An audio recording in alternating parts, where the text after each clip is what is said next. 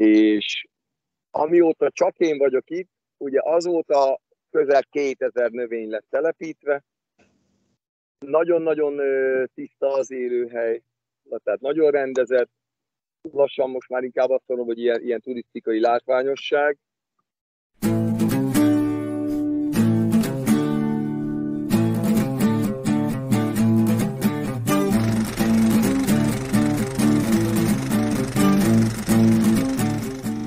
Hát szeretettel köszöntelek Tamás, és köszönöm, hogy újra tudunk beszélni.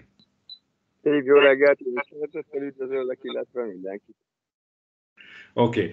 Okay. Uh, nagyon, be, amikor a múltkor beszéltünk, vagy nem olyan régen, akkor mondtam, hogy nem volt, nem tudtam minden videódat követni, meg, meg tényleg, hála Istennek, nagyon termékeny vagy ezen a területen is, hogy, hogy videókat gyártasz és tartalmakat, és ezért is szerettem volna, hogy, hogy, hogy ebbe a beszélgetésbe tényleg, a, amik eszedbe jutnak ilyen sarkalatos pontok az egy év alatt, amik történtek veled, veletek, az állatkákkal is, növénykékkel, hogy, hogy mik azok, amik, amik legfontosabbak.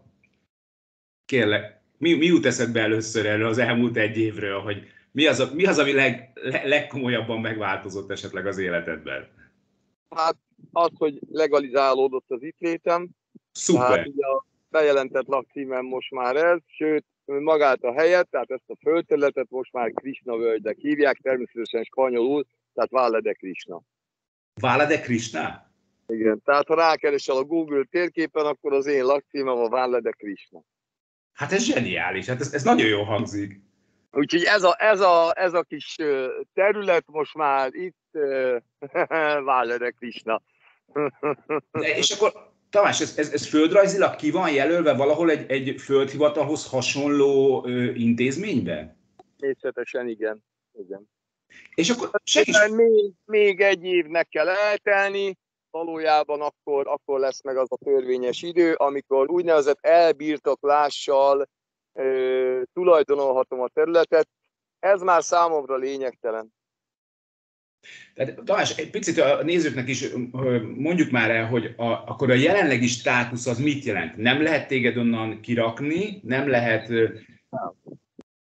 Jó, tehát te ott addig laksz mostantól kezdve, ami Ez meg... a bejelentett lakcímem.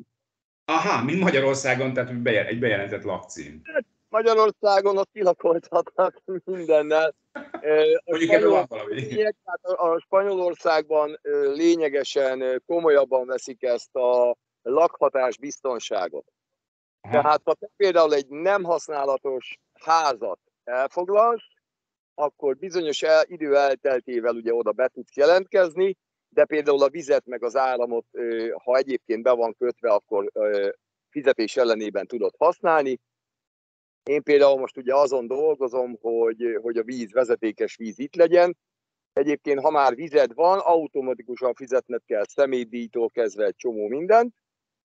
De na mindegy, ez hosszú, ezt most ebben nem megyünk bele. A lényeg az, hogy, hogy tulajdonképpen minden joggal rendelkezem itt, annyi, hogy ugye nem lehet eladni, mert nem a tett tulajdonod, de, de lakcím szerint ugye ide tartozom, tehát ha mondjuk esetleg be akarják építeni ezt a területet, vagy, vagy bármi történik, akkor nem, nem lakoltathatnak ki, csak akkor, hogyha biztosítanak egy másik területet, ahol te elmész.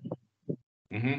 Hát mondjuk az sem lenne, ne lenne túl jó egyébként, mert itt annyi munkád van már ebbe, meg, meg néhány barátodnak segítség. Jó, hát hogy... azért, ha belegondolunk, hogy ez, ez ugye abból indult, hogy, hogy egy kicsit elvonulni, meg egy, meg egy kicsit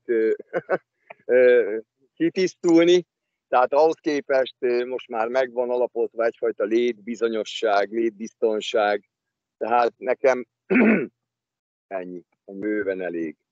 Uh-huh. És akkor ehhez kellett valami bejelentést csinálni, be kellett vinned valami papírokat, vagy hogy történik egy ilyen? Ez, ez hosszú. Hosszú? Hát, kellett, hát, hát valójában, ami nagyon fontos, ugye, hogy volt egy időszak, a Covid alatt, amikor engedélyezték azt, hogy az ember tulajdonképpen akár helyrajzi szám alapján is bárhova bejelentkezzen. Uh-huh.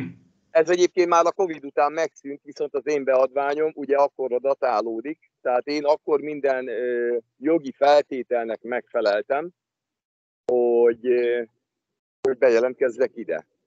Uh-huh. Pillanatrepülő. Jó, csak, de nem hallatszik be egyébként. Én nem. Ja? Oké, okay, oké, okay. Se, semmi gond. Kicsit vágni tudod, de nem mozdítom a kamerát. Jó.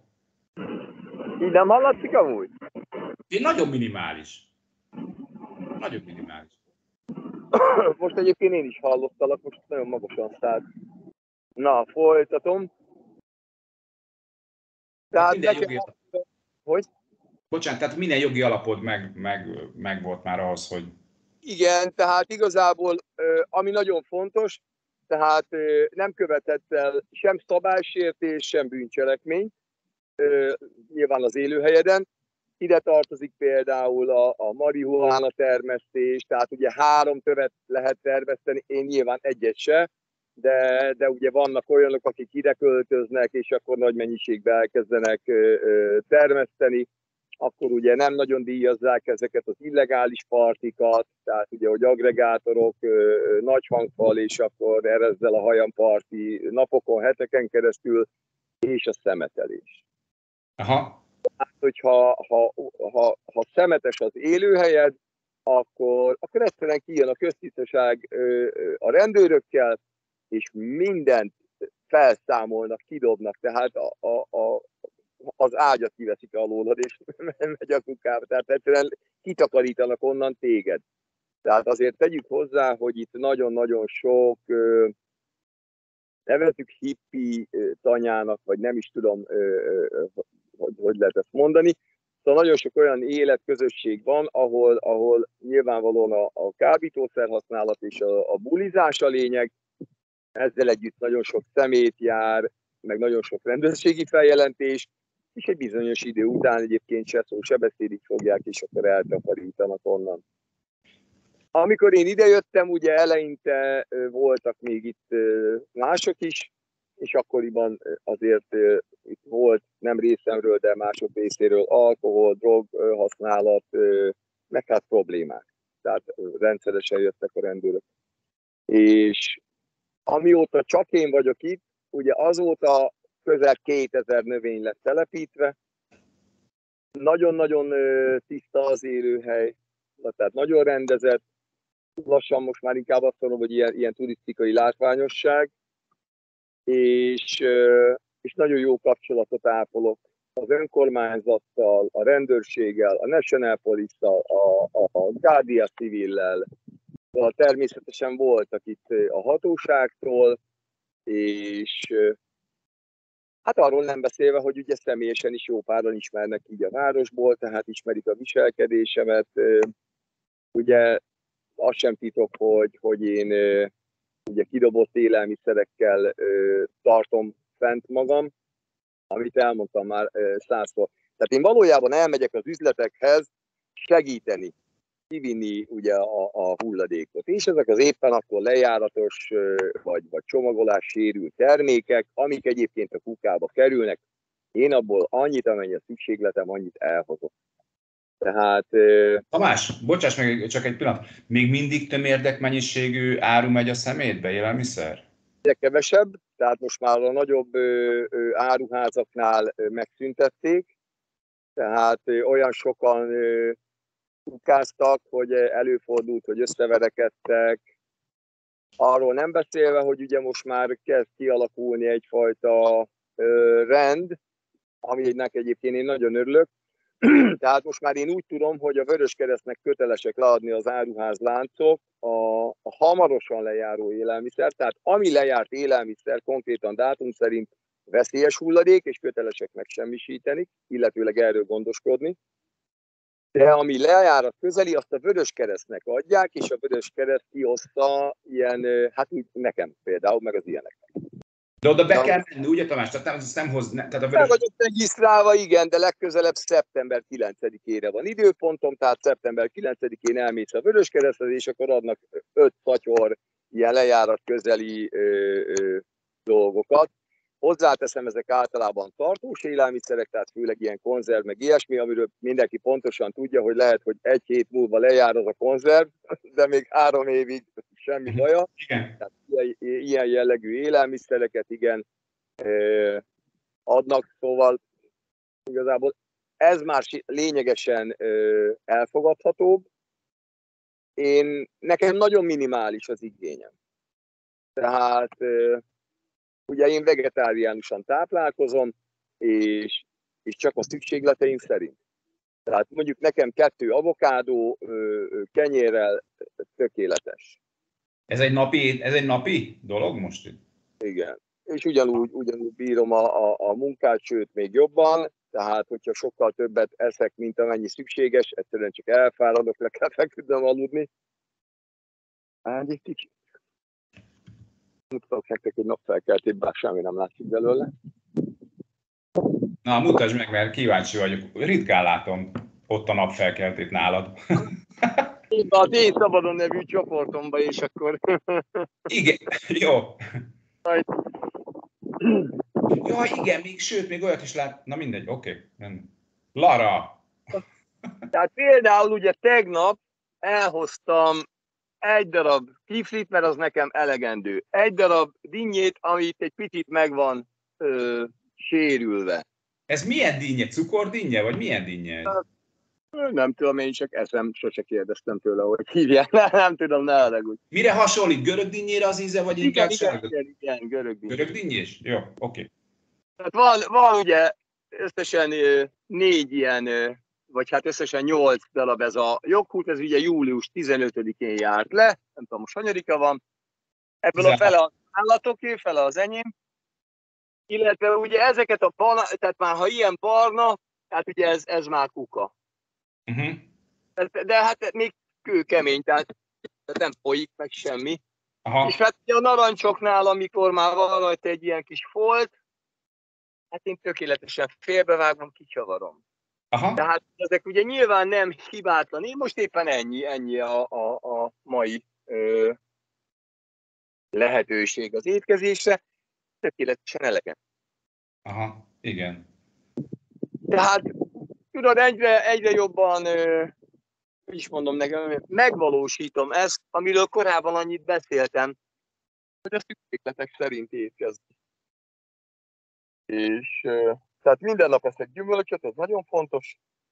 Uh-huh. Természetesen ügyelek arra, hogy két liter vizet, így tehát ilyen most, igen. Tamás, most a víz az hogy, hogy van ö, nálad? Továbbra minden, is hordod? Minden hónapban egy alkalommal a, a hozzám legközelebb eső házból, ahol már szintén egy baráti kapcsolatban vagyok, egy családdal. Én egy slagcsövöt, ugye ami korábban lett vásárolva, tehát azt én kihúzok. Tehát az nem változott, mert ez egy évvel ezelőtt is beszéltünk erről, hogy az nem változott, meg hát igazából ahhoz, ahhoz azért ö, annak, tehát annak jelentős költsége lesz majd, hogy ide vezetékes víz legyen hozatva. Most még amit próbálok megoldani, hogy a vízvezet, tehát van egy öntözőrendszer a városban, ugye mindenhol, és arra is bizonyos általány díjért rá lehet ö, csatlakozni. Na most ugye az iskolánál van, tehát ez 200 méter pontosan, ott azok a pálmafák, azok már rajta vannak az öntözőrendszeren, és akkor onnan lenne a legegyszerűbb, de ennek a költségét nekem kell vállalni. Aha, értem. Közben egyébként már erre is bővültünk, szóval itt is uh, alakulgat. Tehát egyre nagyobb ezek a növények, Tamás, ezek a növények továbbra is mind olyan növények, amiket már valaki kirakott, már nem akar vele foglalkozni? Ezeket a, a legújabb növényeket, ezeket a hatalmas agavékat munkagépek vágták ki, most ugye csatornáznak itt a városba, tehát ezek jelentős része, ezek mind munkagép által kivágott növények. Uh-huh, uh-huh. És tehát ő nekik még se szár, se gyökér nincs. Na most ugye itt van a ivóvíztárló, nem, hát ez az öntöző víz, tehát ezeket hagyom bealgásodni, összesen most már 3000 liter vizet tudok tárolni, és egyébként pont ma délután lesz feltöltve majd ez a tartály. Hát ebből most nem hiányzik csak egy 300 liter, illetőleg természetesen van esővízgyűjtőm. Tehát ezek esővizek, most ugye nyáron annyira nincs ezek még korábbiak, és van kettő ilyen nagyobb teknőm, amiben, hát ugye itt pont a sziklán lefolyik a összegyűlik. És akkor azt én lepalackozom, ugye ennyi. Ha, értem. Talán, az egy pillanatra visszatérve az étkezésre, hogy az egyik videódban láttam, hogy, hogy rengeteg Philadelphia ilyen kenhető kis krémed van. Azt mivel eszed? Úgy magába? Nem, kenyérrel. Ja, jó, oké. Mert az, a kenyérre nem tettél említést ott, és... Minden hónapban van ugye 30 euróm, és én azért kenyeret szoktam venni. Hát most már ugye fölemelték egy tízre, egy zacskó kenyér egy euró 10 cent, de hát egy nap alatt nem fogy el egy egész, úgyhogy nem probléma. Eddig egyébként 80 cent volt, uh-huh. tehát az, az mindig, mindig kenyérre. Jó. És ez a, ez a rózsaszín, vagy lila tetejű, vagy színező, ez milyen ízű amúgy? Hát ilyen vajkrémszerű. Jó. La, Lara szereti? Lara mindent szeret. nem, mert azt a zselét elég nehezen itta meg, vagy lefegyelte ki. Igen, mert ugye most zselatint kell adni a kutyusnak a diszpláziára, úgyhogy azt annyira nem, nem kultiválja. Aha, értem. És egy, de ja, most... közben meg, megcsinálja. Hú, nem tudunk bemenni nagyon, mert akkor megszakad a téren. De ilyen lett ez a benti barlang. Nagyon jó. És itt vannak, a hetelek is most már lassan két heten lejártak. És semmi. Semmi. És Tamás, most Lara úgy látom, hogy elég jól van. Láttam a videóidból a szőszenetekben is, meg, meg hogy, hogy most ő az elég jól mozog, ugye? Igen, mert természetesen nagyon kedves ismerőseim és barátaim a segítségemre siettek, úgyhogy Ausztriából kaptam ezt a, ezt a kollagént, vagy gelatint, ki hogy ismeri, valamint most ezt a zöld, zöld kagyló kapszulákat, meg ilyen készítményeket adom neki. És hát ugye ezt úgy, úgy lehet tudni, hogy ez a, ez a betegség ugye nem gyógyítható, de, de szinten lehet tartani. Aha. Tehát artrózisos a gerince, meg ugye diszplázia, gondolom ez, ez ilyen porszkopás jellegű betegség, annyira egyébként nem értek hozzá, meg hát amit így a spanyolból átfordítottam, de ennyi a lényeg, hogy gerinc problémája van, meg, meg porszkopása, ami egyébként állítólag nagy testű kutyákra jellemző. Uh-huh. Tehát akkor szinten lehet tartani ezekkel a készítményekkel. Igen, úgyhogy most ezeket kapja minden nap. Uh-huh. Tehát, de nyilván akkor ezeket folyamatosan pótolni kell, ugye? Mert hát, hát máskor nem tudod adni. Igen. Aha, jó, hát persze ez logikus volt, csak, csak hogy akkor nek van egy költsége, egy fix költsége, akkor megint ugye ezt, ezt valahogy elő kell teremteni, vagy ezt küldik most neked, barátaid? Hát ugye én erre azt szoktam mondani, hogy Krishna elrendezi. De De igen, újjában mindig van valaki, aki, aki örömmel támogat, tehát például egy ilyen e, doboz kapszula, ennyi, ezt mondjuk pont, pont én vettem, ez 10, e, 17 euró volt. Mutasd meg légy a kamerába, Tans, légy szíves. Picit fordíts rajta. Ja, ez az, amit az előbb mutattál. Aha. Tehát, hogyha valaki tud neked ezzel segíteni, hogy ilyet, ilyet küld, az, az nagy örömmel és szeretettel tudod fogadni. Nagyon szépen köszönöm, igen. Meg igazából a gelatin, ami, ami nagyon fontos, az pedig valószínűleg a Kanári-szigeteki magyar bolt. Adományoz Larának minden hónapban egy, egy kilósat. Mert egy kiló körülbelül. Szuper, nagyon korrekt, nagyon rendesek. Azt, azt Magyarországról lehet ugye megrendelni. Én igazából megkérdeztem, hogy, hogy mennyibe kerülne az, hogy ők kiszállítják, mert ugye Magyarországon, ha valaki megrendeli, azt hiszem 4700 forint, de ugye a szállítási költség az, az meg sokkal több. Uh-huh. És, és ugye hát az nem titok, hogy én a Kanári-szigeteki magyar bolttal is baráti kapcsolatban vagyok.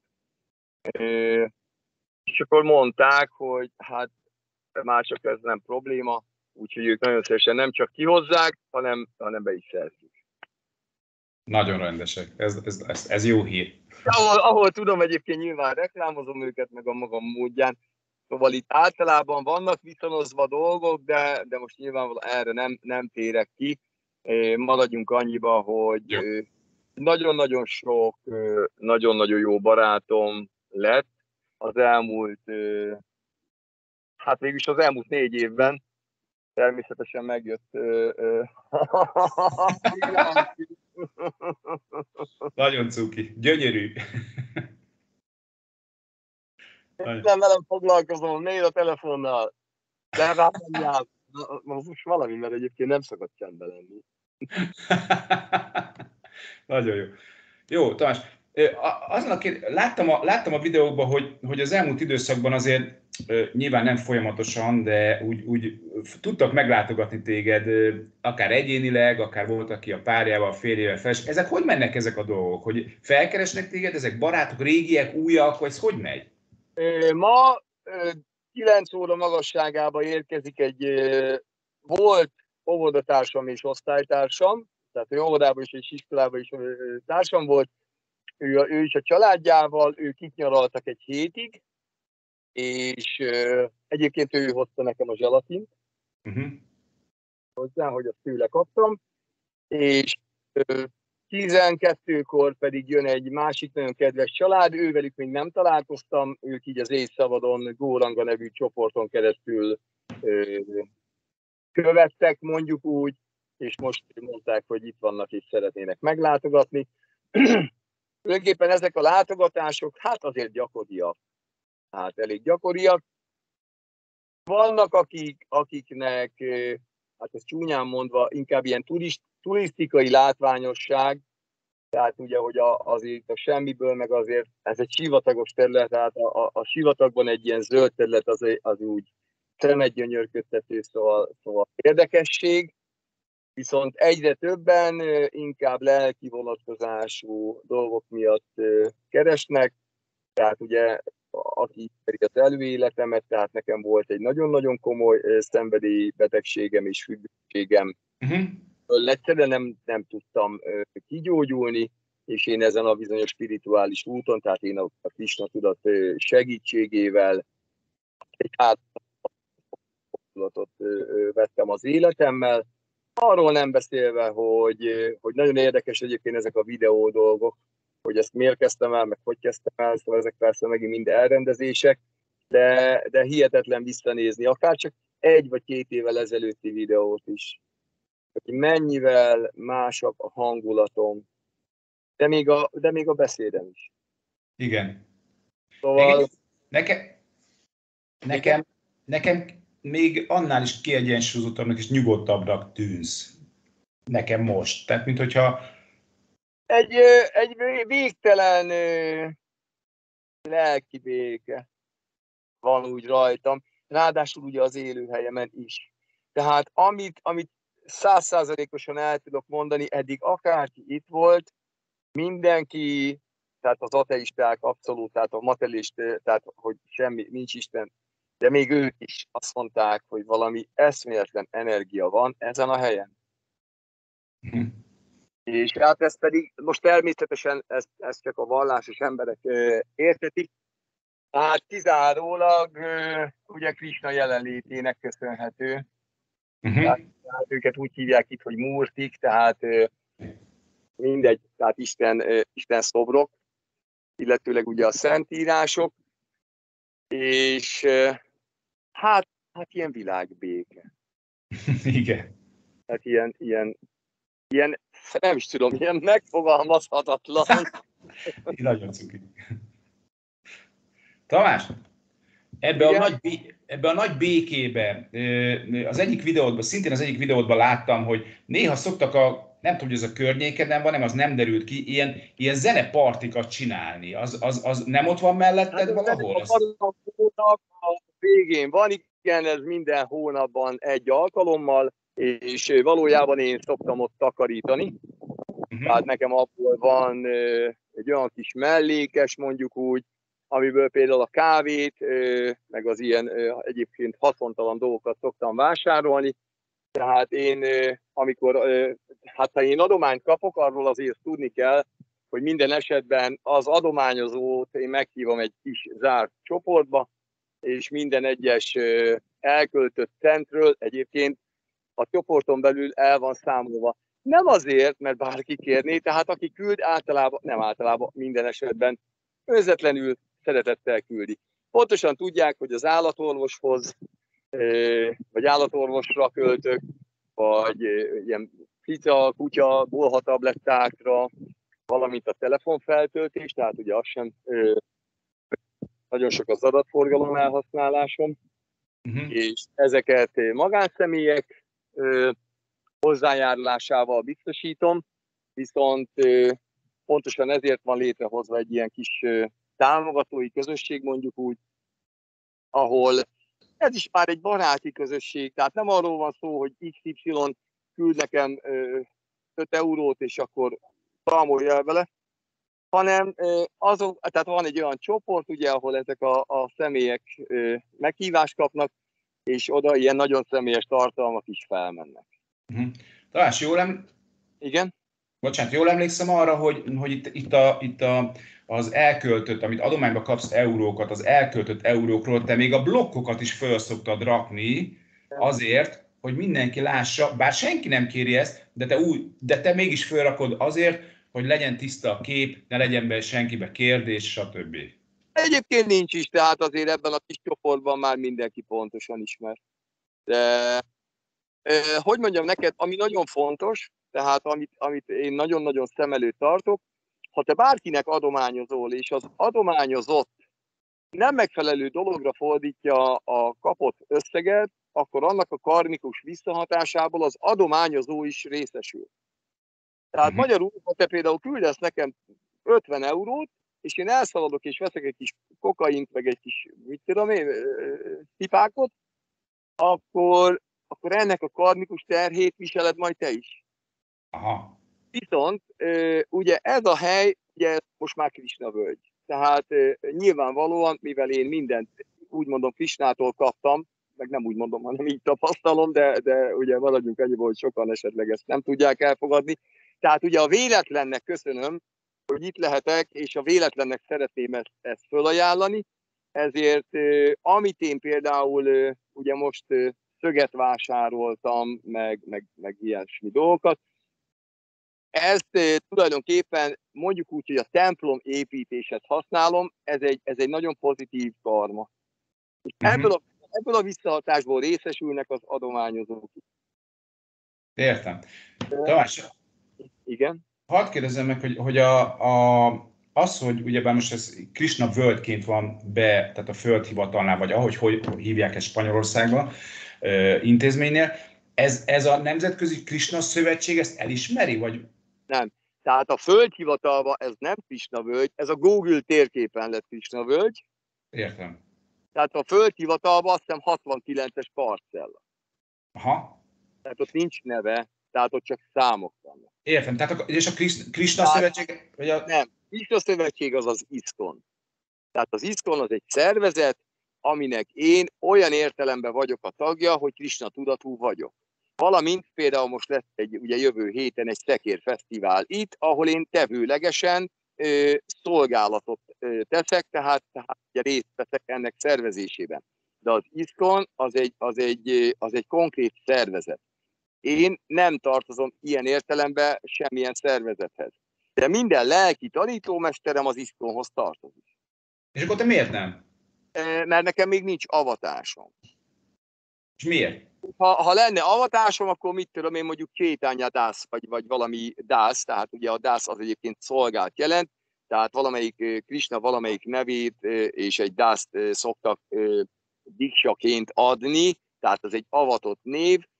Ezt körülbelül úgy kell elképzelni, mint hogyha valaki ugye úgy hívják, hogy Kovács Ilonka, és feleségül veszi a, a nagy Pisti, akkor nagy né Kovács Ilonka lesz. Mondjuk, tehát, igen. Tulajdonképpen, aki házasságot köt Krisnával, tehát ez egyfajta elköteleződés, akkor fölvesz egy, egy, egy avatott nevet. Tehát, hogyha bárki ismer, kiket, kiket mondja, Lila Suka Prabhu, tehát nyilvános neveket mondok, Baktipád, Goszvámi Maharaj, Prityuga Prabhu, Góra Krishna Prabhu, tehát a Prabhu egyébként urat jelent, tehát ők ugye már a szervezethez tartoznak, és egy szervezetet képviselnek. Én nem mondhatom azt, hogy egy szervezetet képviselek, hisz még nincs is avatott nevem, viszont Krishna szolgálja bárki lehet. De akkor mi a különbség, Tamás? Mi, mi, e, e, az egyik az magasabb rendű, vagy nem? Vagy ez... otthon, otthon gyakorlod a, a, a katolikus vallást, és te Jézussal egy személyes kapcsolatot ápolsz, az még nem jelenti azt, hogy te a római katolikus egyház tagja vagy. Világos, oké. Okay. Tehát, tehát neked nem kell elmenni minisztrálni, meg nem kell a körmeneten vinni a zászlót, meg, meg semmit nem kell csinálni attól, hogy te a te általad preferált Istennel, mert nyilvánvalóan Isten egy van, tehát most te Allahnak hívod, én ugyanúgy tisztellek, becsüllek. Buddha ugye, hát ő nem Isten volt, de... Bocsánat, én nem hívom, én nem hívom Allahnak, csak ez példa volt a nézők kedvéért mondtam. Tehát, tehát, tehát, tehát, hogy nincs, tehát Isten egy van, név, nevezd, ahogy szeretnéd, vele egy személyes kapcsolatot tudsz kialakítani. Én nem tudok mást elmondani, mint az, hogy amióta Istennel, általam Krisnának nevezett Istennel nekem van egy, van, egy, van egy bensőséges kapcsolatom, azóta olyan, olyan megvalósításaim vannak, tehát olyan szinten értem el a nyugalmat és az elégedettséget, hogy azt igazából szavakba önteni nem is lehet. Tehát ugye ezért is készülnek a videók, mert általában amikor megértek valami picivel többet a világból, és, és egyre jobban tudom, hogy még nem tudok semmit, hát ezeket én örömmel megosztom, és igyekszem érthető nyelvezetben, de ami a legfontosabb, csak olyanról beszélek, amit én már megvalósítottam. Hát én nem azt mondom neked, hogy te egyé három napig sajtfémet, de közben én, én grillcsirkét eszek marha pörköltel. Meg amúgy nem is érdekel, hogy ki mit teszik. Meg, ne, meg, én, meg, meg ez, hogy követni. Ö, nem kell követni. Tehát mindenkinek van egy egyéni sorsa, vannak egyéni lehetőségei, és választhat. Én évtizedeken keresztül az anyagi örömszerzést választottam. Drog, szex, meg, meg, meg minden formájában. Számomra ez nem eredményezett ö, nyugalmat, békességet. Nem tudtam mosolyogni, nem tudtam jól aludni, és mindig elégedetlen voltam. És tulajdonképpen én megvalósítottam a, az általam preferált vallásban, tehát a védikus szentírások alapján olyan dolgokat, amíg, amíg számomra elhozták ezt a típusú elégedettséget és nyugalmat. Tehát itt, itt nincs arról szó, hogy én követendő példa akarok lenni, egyszerűen csak örömmel megmutatom, hogy a védikus szentírásokban leírt dolgok milyen mérhetetlen módon valódiak, megvalósíthatóak, és tulajdonképpen egyszerűek. Kimondani nehéz például ezt a tölibátus dolgot, hogy, hogy nem élni korlátlanul ugye nem életet, tehát a feleségeddel egyébként igen, gyermek nemzét céljából, de az a mérhetetlen mennyiségű energia, mindenféle típusú energia, amit a, a szexualitás magával hoz, tehát ugye az állandó vágy. Tehát nyilvánvalóan kínálod a másikat, az egész meditációd, az összes gondolatod javarésze e körül forog. Hát például meg kell borotválkozni, jól kell kinézni, ne legyen pattanásos az arcom. Miért? Mert tetszeni szeretnék annak, akit szeretnék meghódítani, akivel szeretnék megjelenni majd valahol, és, és a legtöbb cselekedeted a nap folyamán összefüggésbe hozható egyfajta megfelelési kényszerrel, tehát megfelelni a csajoknak, vagy a pasiknak, vagy akárkiknek, vagy hát amikor már van, akkor a párodnak, bár egy idő után, ha ellaposodik a kapcsolat, akkor már, már a párod mellett esetleg azért még mindig nagyon szeretnél tetszeni, a többi pasinak persze hűséges vagy, de, de azért, azért örülsz, ha megnéznek, és örülsz, ha elismernek, és ezek, ezek rengeteg sok energia, fel se, tehát nem, nem is gondol bele az ember, hogy mennyi. Valamint megjelenik a düh. Tehát a kévágy az minden esetben két ö, egyéb dolgot vonz magával, a, tehát a két düh mohóság, ha nem teljesül a vágyad, például a, a, a, nemi vágyad, akkor dühös leszel, ha meg teljesül, akkor meg kéreknénk. Tehát akkor e, e, mohóság. Hát amit az anyagi, anyagi világban és az anyagi örömökben ugye nem, nem tudsz elérni, az az, hogy, hogy, hogy elég. És elégedett vagyok, és tényleg jól érzem magam, tehát hiába vagy együtt a pároddal, a feleségeddel, vagy egy, vagy egy szeretővel. Nagyon nagy öröm, nagyon nagy boldogság, de egy kis idő után kérek még.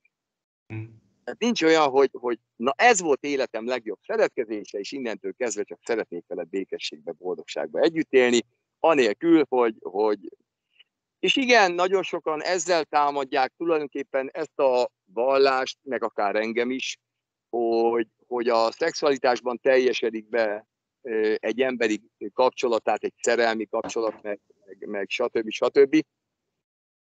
Hát ez nagyon hosszú, de majd erről, már készítettem egyébként ehhez hasonló tartalmat. Erről de most... beszélgethetnénk egyszer egy másik videóba, Tamás. Mit szólsz? Nagyon szívesen. Ahol hosszan ki lehet fejteni, mert kíváncsi vagyok rá nagyon, és szerintem nagyon sokan. Ami, ami nagyon-nagyon fontos, tehát eh, ha valaki elfogadja a reinkarnáció elméletét, tehát hogy életről életre születünk, és életről életre megkapjuk a lehetőségét annak, hogy fejlődjünk, akkor na ezek az emberek közül is csak néhány fogja megérteni, amikor azt mondom, hogy, eh, hogy az állatvilágban és az emberi világban ugye négy alapvető dolog van, evés, eh, alvás, párzás, védekezés. Hát ugye az állatok meg az emberek tulajdonképpen ugyanezt a négy dolgot csinálják, csak mi ugye civilizáltan, tehát mi nem az erdőbe vagy az úton ö, ö, ö, szeretjük meg a partnerünket, hanem ugye egy kényelmes ágyba, vagy hát mindegy. Jó. Szóval, de tulajdonképpen ezek, ezek, ezek a, a fő motivumok. Na most az intelligencia arra való, hogy az ember tudja uralni és kontrollálni a vágyait és az érzékeit. Tehát ahhoz, ha bárki szeretne lelkileg fejlődni, vagy ha nem is hiszi a lélekbe, meg nincs is lélek, meg semmi, szeretne emberhez méltó módon élni, az abban az esetben valósulhat meg, ha tud uralkodni az elméjén és a vágyain. És az ott kezdődik, hogy a szavaink kell uralkodni. Hát már ez sem megy az embereknek. Tehát kilépsz az utcára, bárkit meglátsz, és a K anyját. Megnézed a tévébe a híreket, és mindenki öcsög meg tap, tap, tehát, hogy már ezt nem tudjuk az emberek meg, tehát az általán, és magamról beszélek, tehát nem mindenki tudja, én nem tudtam, tehát nem tudtam uralkodni még a beszédemen sem. És ez például az első lépés. Uralkodja a beszédeden. Aztán uralkodja vágyaidon. Tehát ne legyél egy állatias, ösztönös ö, ö, lény, hanem igenis ö, tudatosan tedd, amit teszel. Ha ösztönből teszed, ugye mindig visszahatása van. És ugye hányszor, de hányszor fordult már elő, akárkivel, bár, velem, senkivel nem fordult elő, de velem már előfordult, hogy ösztönből ugye párt választottam, és nagyon nagy problémáim voltak belőle, akár érzelmileg, akár pszichésen, akár mentálisan, anyagilag, stb. Közben éreztem, hogy egyébként nem lenne szabad összejönnöm, például avval a hölgyet. Vagy bármi olyan dolgot már hányszor tettem meg, amit utólag nagyon megbántam, de amikor megtettem is éreztem, hogy ennek nem lesz jó vége. Nem tudtam uralkodni a vágyaimon, nem tudtam uralkodni az elmémen. Én igyekszem ezt gyakorolni. Egyre jobban tudom, hogy még sehol se tartok, de már ez a szint is nagyon elégedetté tesz. És innen is csak fölfelé vezet az út. Tehát lelki gyakorlatokat végzek. Én minden, ebben a fotelban minden hajnalban itt ülök, és, és mantra meditációt végzek. Igyekszem minden nap felolvasni a Szentírást. Nagyon érdekes, hogy a védákban, ugye, e, meg, meg ugye a lelki tanítómesteri láncolatomon keresztül volt egy ilyen kijelentés, e, hogy aki a szentírásokat olvassa, annak fejlődik az intelligencia. Hát, ha bárki megnézi a két vagy három évvel ezelőtti videómat, mondjuk ezt, nem hiszem el, hogy nem tűnik fel neki a különbség. Tehát, hogy és, és ezért végtelen hálás vagyok a sorsnak, nem Krisnának, hogy, hogy eszköz lehetek arra, hogy bemutassam, mennyire megvalósítható az egyszerű, nyugodt, boldog, kiegyensúlyozott élet. Ugye erre mindig jön azt, hogy igen, de te egyedül vagy, így, meg úgy, meg amúgy. Hát persze, de előbb-utóbb te is egyedül leszel. Azon kívül a lelki gyakorlatokat családdal is lehet végezni, sőt, nem egy olyan ismerősöm van, akinek a férje vagy felesége egyébként teljesen ateista, de mégis a, a hölgy vagy úr, partner, ő gyakorolja a Krishna tudatot, és azóta sokkal kiegyensúlyozottabb a kapcsolatuk. Uh-huh. Tehát amikor, amikor mindenkivel egyformán bánsz, például hát ez is, hogy mindenkivel egyformán bánni, nincs különbség növény, állat és ember között, tudom, ez felfoghatatlan, feldolgozhatatlan, hiszen ha így lenne, akkor nem használhatjuk ugye a Földet. nem mészárolhatnánk tömegre az állatokat. Hát ugye erről beszélgettünk, milyen mennyiségben vannak kidobálva az állati ketemek, ugye nevezzük húsnak, és ezeken is mindig annyiszor gondolkozom, hogy, hogy, hogy ugye én, én, én, én milyen, milyen antiszociális vagyok, mert hogy ez a vegetáriánusság, ez egy mekkora nagy baromság is, hogy az embernek a, a húsa, és ráadásul én milyen undorító vagyok, mert ugye kukázom. Na most Érdekes várj, várj, Tamás, ez, várj egy picit, ezt konkrétan valakitől így megkapod, úgy körülbelül így elmondva? Most az utóbbi időben valamiért nagyon felkapottak lettek ezek a, a YouTube videók, és hát vannak ilyen nagyon érdekes kommentek. És tudod, így belegondolva néhány dologba például, tehát én most megmutattam neked ugye például ma mit fogok enni. Uh-huh. Igen, igen, igen, ez a kukás edényből lett kivéve. De hát megputolom a narancsot, megputolom a banánt. Uh-huh tehát, vagy, vagy, vagy, vagy, vagy egy ilyen fólia van abban a vajas dobozban, tehát még azt fel kell bontani. De mások, akik, akik például egy olyan élőlényt esznek meg, ami egy ekkora ketrezbe volt bezárva egész életébe, a csőre le volt vágva, rá volt húzva egy ilyen, egy ilyen adagoló gépre, és a saját székletében fetrengett két hónapig, amíg föl nem fújták annyira, hogy le lehessen vágni, mit élt át az az élőlény, Utána gondold el azokat a gépeket, amik ezt feldolgozzák, széklettel, gyógyszerekkel, mindennel. Te, ezt már nem te, te bárki, akárki, senki, de valaki lehet a Földön, eszik ilyen termékeket, felvágott meg egyéb dolgok formájába. Hát az én meglátásom szerint én nem vagyok azért annyira undorító, mint, mint esetleg olyan emberek, akik, akik nagyon súlyosan vérrel, széklettel és, és nagyon sok fájdalommal, szenvedéssel, szennyezett élelmiszert fogyaszthatnak. Hmm. Szóval, tudod, hát, de, de nagyon fontos. Tehát én abszolút elfogadom. Tehát ahhoz, hogy elfogadjanak, ahhoz neked kell először elfogadni. Ahhoz, hogy tiszteljenek, először neked kell mindenkit tisztelni. Én tisztelem az ateizmust, én, tiszt, én mindent tisztelek. Tehát ha bárki, mert ugye mit mondanak? Hát nem hiszem Isten, mert nem látom hát ha te láttad az rizsrobbanást, akkor, akkor légy és mutassál róla. Tehát, hogy, tehát nagyon sok mindenben én nagyon szívesen... Más. Igen. Ezt mondd el létszes még egyszer, mert kihagyott egy pillanatra a net, és nagyon felgyors. Az előző mondatot kérlek, mondd el még egyszer. Ú, melyiket? Nagyon sok, én, én, én mind, mindent tisztelek, és ott elkezdtél egy, egy nagyon rövid kis monológba, egy-két mondat lehetett maximum. Tehát én mindenkit nagyon tisztelek, akkor is, hogyha esetleg ateista, akkor is, hogyha ha bármilyen vallású. Ahhoz, hogy, ahhoz, hogy ugye tiszteljenek, ahhoz neked kell először megadni a tiszteletet. Ahhoz, hogy, hogy elfogadjanak, először neked kell elfogadod másokat. Amikor megérted azt, hogy amíg benned vannak blokkok, gátlások, problémák, rendelkezel olyan tulajdonságokkal, mint a kém, düh, mohóság, irítség, illúzió, addig ezek a dolgok fognak zavarni másokba. Mindenki másokat akar megváltoztatni. Meg mindenki másokat akar kijavítani, mert a szomszédom a hülye, a főnököm a hülye, a férjem, feleségem a hülye, a gyerekem is az meg a leghülyébb. Közben csak addig zavarják ezek a tulajdonságok más emberekbe, amíg önmagában megvannak ezek a tulajdonságok. És igen, rendelkezünk ezekkel a tulajdonságokkal. Neked van ilyen, Tamás? Biztos, hogy még van, de egyre kevesebb. Tehát egyre kevésbé zavar más emberekben. Az, hát az agresszivitás például már nem zavar.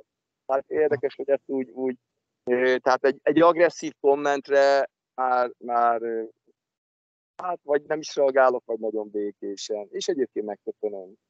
Mert, mert az ő véleménye őt tükrözi, és az ő hangulatát tükrözi. Uh-huh. Meg hát ez róla szól igazából, nem rólad. Mindenki egy tükör. Tehát az egész életünk nem szól másról, mint tanulásról. Tulajdonképpen az univerzum, ugye, tehát nem az univerzum úgy kommunikál velünk, hogy folyamatosan olyan feladatok elé állít, amit ameddig meg nem oldasz, addig ismétlődik. Tehát, hogyha egy ember konfrontálódik valamilyen szituációban folyamatosan, állandóan, akkor el kell rajta gondolkodni, hogy egy, miért jön mindig vissza az életembe ugyanez, legyen szó, ugye például nagyon sokszor tudok olyanról, hogy párkapcsolatban ugyanabban a hibába esik bele mindig és mindig és mindig, de nem tanul belőle. Hát nem tanulsz belőle semmi probléma. Tehát az egész életünk tényleg egy ilyen iskola, hogy, hogy évvégén van egy vizsga, ugye például egy ilyen konfrontációs helyzet, és, és megbuk. Megbuktál, semmi gond kezded előről, és tulajdonképpen ugye törvényszerűségek vannak. Tehát ezt csináljuk amúgy életről életre. Tehát az életünk vizsgája a halálunk pillanata. Aki sikeresen felkészül erre a vizsgára, és most ebben megint nem tudunk belemenni, nagyon hosszú lenne, hogy kell felkészülni az életünk vizsgájára.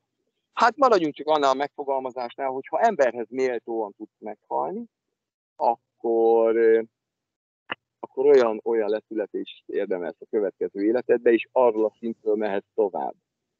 Általában... Ez Tamás, Tamás, bocsáss, ez fontosabb a, a halálba lábló átlépésnek a minőség és miensége, fontosabb a, a következő leszületés szempontjából, mint amit él, életemben csináltam, mondjuk a cselekedeteim? Ki milyen létállapotra emlékszik teste elhagyása pillanatában bizonyosan olyan létállapotot ér el következő életében. Tehát ha hiszed, ha nem, igazából utána lehet járni, nem, nem ez a lényeg. Mindenkinek van egy körülbelül 45-46 másodpercnyi idő, tehát még ha fejbelőnek vagy a vonatgázol el, ugye úgymond szörnyet hasz, akkor is lefelé életet sírni. Uh-huh. Tulajdonképpen ahol megáll, ott, eh, tehát abban, abban a létállapotban és abban a hangulatban születsz le újra. Na most előfordulhat, hát ez így nagyon vallási, ebben szerintem azért most annyira nem menjünk bele. Jó, Tamás, figyelj, ne felejtsd szabad, igen, igazad van, ez is lehet egy másik jó téma majd szerintem, mert ezt, ezt tényleg egy részletesen ki kell bontani, én úgy látom, nem? Tehát, hogy... Igen, elvarva ezt a szállat, annyi a lényeg, hogy általában az emberek, amikor elmennek, úgy azért már, már azért tudsz emberekről, akik ugye eltávoztak. Most nem, nem, nem a hirtelen halára gondolok, hanem, hanem, hanem akik, akik mondjuk normálisan leéltek egy teljes életet. Végtelen félelem, ugye a haláltól is nagyon nagy ragaszkodás. A családtagokhoz, a, a, az anyagi javakhoz például. Tehát gondold el, aki, aki egész életében milliókat gyűjtögetett össze, és, és a halálos ágyán e, ugye azon gondolkozik, hogy vajon az örökösök, ha e, meg nem ölik egymást a pénzért, akkor vajon mennyi idő alatt fogják elherdálni. Hiszen számukra az egy könnyen jött pénz, ugye, nem dolgoztak meg érte, nem bír olyan értékkel, mint neki, aki 50 évig kuporgatott, ahelyett, hogy élt volna. Szóval, szóval úgy az ember már most is, akár én most ugye 48 éves vagyok, de már 48 évesen is próbálok úgy, úgy, tehát ha esetleg holnap kéne elmennem, akkor mivel tudnék számot adni. Nekem nagyon-nagyon fontos volt az, hogy amikor elmegyek, akkor a szüleim, ugye, akik már nem élnek, ne úgy gondoljanak rám, hogy na úgy halt meg a fiam, hogy drogtúladagolásba, meg a, meg, a, meg a börtönbe, meg a, hát az én korábbi életvitelem ugye az nagyjából ez volt, és, és tulajdonképpen lehessenek rám büszkék mindezt úgy valósítsam meg, hogy a számomra kedvező legyen. Tehát ugye anyukám pedagógus volt, apukám rendőr. Hát végül pedagógus nagyon sok ember tekint tanítójának, ez mondjuk nyilván egy nagyon nagy túlzás, de, de hát ez úgy, ez úgy azért elmegy. Hát rendőr nem, nem igazán ö, ö, szerettem volna lenni, vagy szeretnék. Viszont, ö, viszont tudom azt, ha most bármelyikük ö, kapna egy napot csak hogy így meglátogassanak engem, és eljönnének ide hozzám, de elégedettek lenni.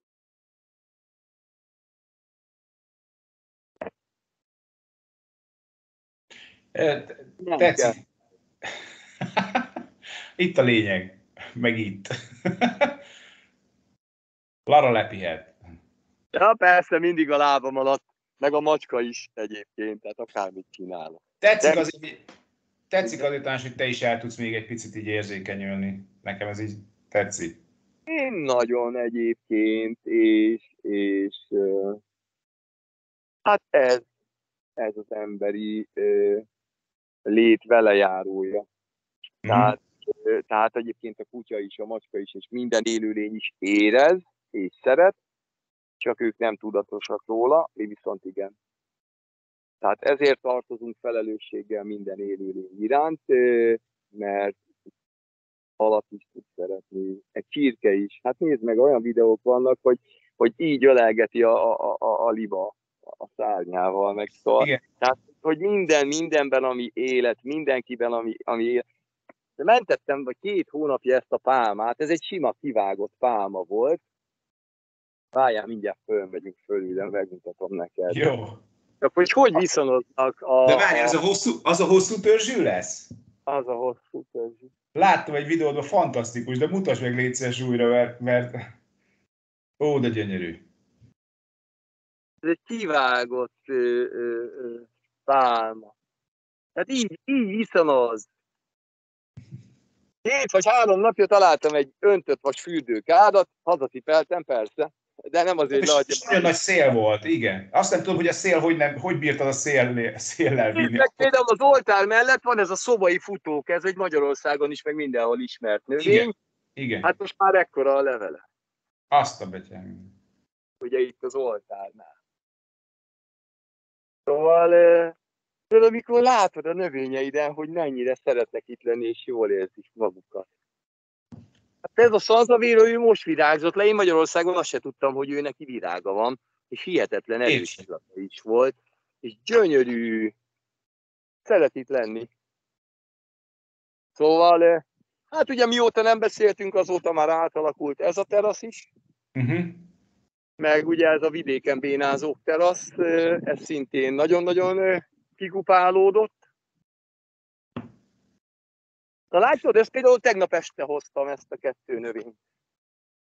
Tehát így van, ez csak le van törve. És akkor ez megy be a vödörbe, víz, és akkor gyök, igen, gyökeret ereszt. Meg ez is tegnapi. Ha látod, ide került a fürdőkád. Figyelj, abban miért lett földrakva, vagy abban abba is növény lesz, növények? A, a fürdőkádba? Igen. Már benne vannak. Már, benne vannak? Jó, szuper. Aha. Hát ez Nagyon már, jó.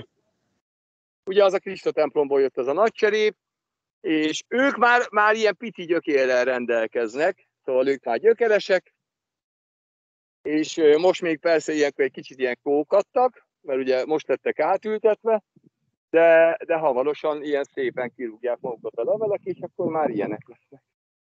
Uh-huh. Csodálatos. Szóval így végignézel itt a, a, a, a sehol se. A, a, a, a, a lelked örömmel, és azt nem tudom máshogy mondani, ezek nem testi örömök, tehát igazából ugye mindig elmondom neked, nektek, bárkinek, hogy anyagi értelemben hát én nem vittem semmire. De nem bánom. Nem bánom, mert ez így, tehát ha anyagi javak lennének itt, mindenféle műszaki dolgok, motorkerékpár, elektromos roller, meg a, ugye a motor... Izgulhatná, hogy ne lopják el. Állandóan. Állandóan. De most ide jön valaki, érted, és mi? Tehát nincs itt semmi, növények vannak. Mit viszel, egy Philadelphiát? Hát adsz neki egyet, nem ajándék. De hát odaadom. Meg hát ugye, meg hát ruha, de ezek is ilyen, hát ilyen, amiket találok, ruhát, Hát én nagyon gyakran egyébként ilyen, ilyen csajos ruhákban vagyok, mert általában ezek a, tehát az ilyen színű dolgok, de nekem teljesen mindegy. Nem probléma. Semmi. Meg van ragasztva a papucsom, hát ott tegye meg a fene. Hanyas a lábad? 40, hát 46-os, de már újabban, ami 46-os, az már nem jön rám. Kicsi vagy nagy? Ja, persze nem jön rád, akkor, akkor kicsi a 46-os. Hát szerintem azért, mert ugye a kínaiaknál a számozás az nem olyan. nem tudom. Tehát nem a lábad változott, hanem a papos. Igen, nem, hát nem a láb, nyilván nem a lábam változott. De hát ugye a lába lábaló, ő itt van. Igen. Tamás, az, már majd kibudjan belőlem egy kérdés, ezen mindig, mindig szoktalak egy picit nyúzni, úgyhogy nézd el nekem, mi van a szerelemmel? Jelenlegi, tehát ugye napról napra, hétről hétre és évről évre változnak ugye a megértéseim.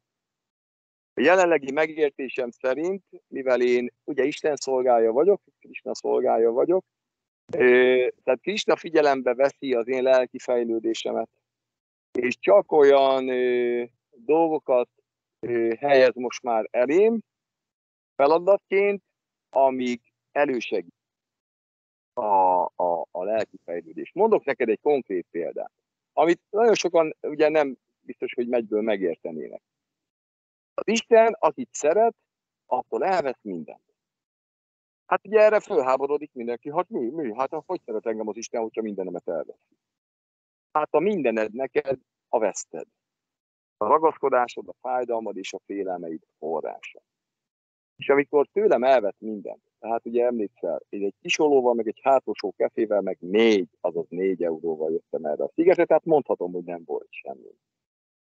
És ez volt az a pont, amikor elindultam az önmegvalósítás útján. Ugye erről is beszélgettünk, ki keresik Istent, szenvedő, aki gazdagságra vágyik, a kíváncsi és az, aki az abszolút után kutat. Általában ebben a sorrendben. Tehát először szenvedünk, vagy testi fájdalomtól, ó, elveszítettük a szerelmünket, mit tudom én, vagy éppen impotensek leszünk, valami nagyon-nagyon nagy balhé van. Szenvedünk. Kihez fordulunk Istenhez? Ugye ez gépen nincsen ateista. Na, amikor már nem szenvedünk, mert a Jóisten megsegített, persze azt mi magunknak tudjuk be, tehát, nem, tehát ha már jobban vagyunk, akkor nem hálát adunk, hanem már azon törjük a fejünket, hogy na jó, hát ha jobban lettem, akkor legyen már kis pénzem is. És akkor ezt is megkapod. Utána leszel kíváncsi. Na akkor esetleg elveszi a Jóisten mindenedet, mert elvileg addigra már meg kellett, hogy erősödjél a hitben. Tehát kérted, hogy a fájdalmad enyhüljön, enyhült. Gazdagságra vágytál, megtörtént. És akkor, akkor, akkor most már legyél kíváncsi az abszolútra. Na most nagyon sokan ilyenkor ugye elfordulnak Istentől, tehát üzlet. Mindennapi kenyerünket ad meg nekünk van. Ne vigy minket a kísértésbe, tehát csak kérünk, kérünk, kérünk, kérünk, de nem adunk semmit. Mit kér tőlünk a jó Isten? Egyetlen egy dolgot. Ugye a feltétel nélküli szeretetet. Na hát erre képtelen mindenki. Tehát általában az emberek kiterjesztik a lelküket bizonyos dolgokra és emberekre, és csak azokat szeretik. Tehát általában az emberek a családjukat, azon belül sem mindenkit, ugye a párjukat, de az sem mindig, esetleg a gyermeküket, de néha nem, tehát ez is ilyen elég furcsa, de ugye a lelkedet kiterjeszted a lakásodra, az autódra, a telefonodra, mindenedre, érdekes, azokat nagyon szereted, tehát ha belemennek az autóba, azt mondod, belém jöttek, nem beléd mentek az autódba, de te azt mondod, belém jöttek, mert kiterjesztetted a lelkedet ezekre a tulajdonokra. Mit szeretsz a legjobban? A tulajdonaidat. A családtagjaidat is akkor szereted a legjobban, amikor a tulajdonod. A barátodat is akkor szereted a legjobban, amikor tulajdonképpen a tulajdonod, tehát ha fölhívod, hogy gyere, és jön, akkor szereted, de ha nem jön, mert van egy önálló élete, nem viselkedik a tulajdonodként, esetleg megsértőd. Nem biztos, hogy szakítasz, de lehet, hogy nem jó néven veszed. Szóval annyi mindenen érdemes lenne elgondolkodni, de amit meg kell tanulni az embernek, a feltétel nélküli szeretet. Feltétel nélküli szeretetet tudod, kik mutatják be neked?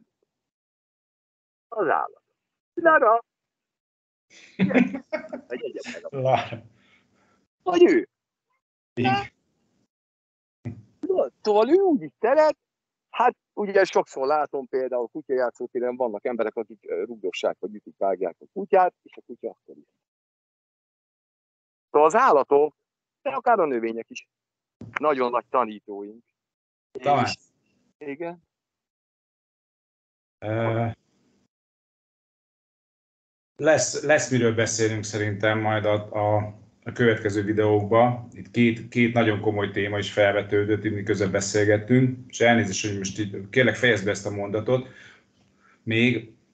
Hát annyi, hogy ha, ha ezt meg tudod érteni, hogy amikor, tehát amikor ez, ez egy nagyon-nagyon hosszú munka, nagyon nehéz munka megtanulni mindenkit egyformán szeretni, de amíg ezt nem tudod megvalósítani, addig vagy ezen a földön, és addig születsz életről életre különböző létformákban. Tehát ami, visszautalok a, a, a halál pillanatban levő élményedre, mármint nem a tiédre, tehát hogy aki, aki esetleg eltávozik, a testét elhagyja, ugye ezt a védák így fejezik ki, és mire gondol test elhagyása pillanatában, azért, azért, ha belegondolunk a saját életünkben, mit fognak eszünkbe jutni, a ragaszkodások, a félelmek, a fájdalmak, az emlékek, és, és nem a feltétel nélküli szeretet.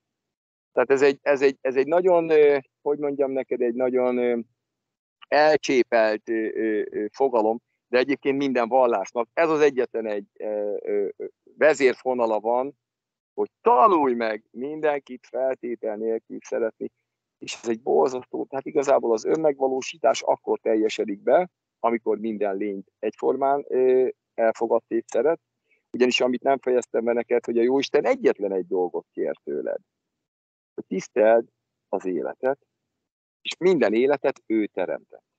Amíg te pusztítod az életet, nem tiszteled, addig te magad is pusztulni fogsz, ugye betegségek formájába, háborúk formájába. Ez, ez nem is vallásos megfogalmazás, hogy amíg vágóhidakat tart fent az emberiség, addig lesznek háborúk. Ez tény. Ezek mind karmikus visszatások. Tehát a Jóisten egyetlen egy dolgot kér tőled, hogy szeresd őt és tiszteld őt, nyilván személyesen nem, nem csöngetünk be, hello Krishna, jöttem és akkor szeretni akarlak, hanem az ő általa teremtett világot. Ne pusztíts, ne vegyél többet, mint amennyire szükséged van. Azt megkapod. Azt mindenki megkapja. A legutolsó csöves is, aki már látod az utcán 30 éve ott van hajléktalan, de nem halt éhen, meg nem fagyott meg. Hát a Jóisten úgy is gondoskodik róla, mert valaki úgy is vagy dob neki, vagy... Tehát mindenki a Jóisten életbe tart a szükségleteit szerint. Hát, ha annál több kell, menjél érte dolgot. Oké. Okay. Tamás, köszönöm szépen, egy remek végszó volt, ismételten. Én azért a, egy újabb témát közben felismertem, vagy felismertem, tehát hogy ami szöget jutott a fejembe, majd szeretném egy, egy videóba ezt, hogyha kibontanád ezt is, a feltétel nélkül szeretet, ezt hogyan kell gyakorolni, mert azért ez, ez egy elég komoly meghatározás, és, és szeretném, ha erről beszélnénk, mert szerintem én, mint laikus ezen a területen, nekem ezt meg kell értenem, hogy ez hogyan működik, és, és szeretném, ha lenne alkalom rá, hogy lehet, hogy másoknak is segítség ez, hogy hogyan kezdje el egyáltalán az ember, az ember ezt, és hogyan tud ezekről lépés lépésre haladni ezzel. Jó, de azt előre mondom, hogy bár elmondani könnyű lesz, meg helyeselni is a megvalósítás, tehát hogyha valaki nem tesz bele energiát valamibe, az, az, az nem, tehát ha nem locsolsz egy növényt, az nem fog ö, kifejlődni. De nem az az első lépés, bocsánat, nem az az első lépés, hogy valakitől, aki már mondjuk ezt részben, vagy akár egészben megvalósította, hallja az ember először, hogy... hogy... Hallás. Igen, a védák leírják, hogy mindig a hallás a legfontosabb. És, és hát Bakti Lata Beach, szóval az odaadás magja. Amikor én velem beszélget bárki, akkor én elültetem benne az odaadás magját. Tehát tulajdonképpen kap tőlem annyi információt, hogy amikor elér az életének azon szakaszához, amikor éppen nagyon fáj, vagy nagyon nem jó, vagy nagyon kére valami, akkor lehet, hogy eszébe jut. És, és elgondolkozik azon, hogy na mi lenne, ha kipróbálnám. Én ugye ezt csináltam, tehát ugye nekem is a Bhagavad Gita már 25 évvel ezelőtt a birtokomban volt, csak éppen nem foglalkoztam vele. Aztán utána jött ez a miért ne. És azóta jönnek a megvalósítások. Nagyon-nagyon sok idő ahhoz, hogy én ezt, amit most elértem az én saját szintemen meg tudjam valósítani, ehhez nekem szükségem volt arra, hogy, hogy, hogy távolabb legyek attól az energiától, amit az emberek összességébe képviselnek. Az állandó vágyakozás, az állandó feszültség, az állandó ingerültség, az állandó elégedetlenség. És nagyon sokan megkérdezik, ha én ezt városban élnék most, akkor ezt meg tudnám-e ugyanilyen szinten valósítani. A válaszom jelenleg még mindig az, hogy nem. Tehát én nem tudnám megvalósítani egy nyüzsgő nagyvárosban ugyanezt a békességet. De, de ez az én utam, és, és nálamnál sokkal rátermettebb emberek is vannak a Földön, sőt lehet, hogy nálamnál mindenki sokkal rátermettebb, akik sokkal könnyebben elérik ezt, akár városi környezetben is, ha egyáltalán meg akarják valósítani, meg el akarják kezdeni. Szívesen beszélgetek veled gyakorlati dolgokról, amit én megvalósítottam. Tehát ö, ugye nagyon sokféle féle spirituális irányzat van. Tehát van, aki mit tudom én, vesz egy követ, leül mellé, és halál boldog. Tehát neki ez jött be, mert ebben hisz. Oké. Okay. Tamás, köszönöm szépen. Muszáj elköszönnem most tőled. Nagyon örülök, hogy tudtál megint rendelkezésre állni, meg hogy időd is engedte meg. Tudod úgyhogy nem, nem, nem is kell. Oké, okay. úgyhogy legyen, legyen szép napod, meg a kedves nézőknek is legyen szép napja. Ha tetszett ez a videó, akkor kérlek lájkoljátok, és iratkozzatok fel a csatornára, és nézzétek Tamásnak is a videóit. Ja, még egy dolog, Tamás, majd, hogyha valaki szeretne valamilyen fokú támogatást nyújtani, akkor e- engedett, hogy a videó leírásába azokat a dolgokat leírom, ahol téged megtalálnak. Ez, ez... Köszönöm, úgyhogy nagyon hálás vagyok. Most augusztusban úgyis kutyaoltás és citeoltás lesz majd esedékes, de ezt majd én kiírom a Facebookra mert ugye van a születésnapom július 31-én, és augusztus 4-én kell vinni a kutyát oltásra, tehát ha valaki esetleg a szülinapomra egy kávét szeretne prezentálni, akkor tudhatja, hogy nem kávé lesz belőle, hanem kutyaoltás. Rendben, Köszönöm szépen, legyen szép napod! Mindenkinek minden jót. Hári Krishna, Hári Hariból. Szia Tamás, sziasztok, minden jót, sziasztok!